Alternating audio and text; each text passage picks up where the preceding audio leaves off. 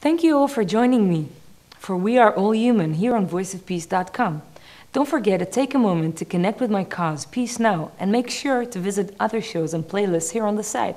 I'll be updating my show every month with some new videos. So stay tuned for more.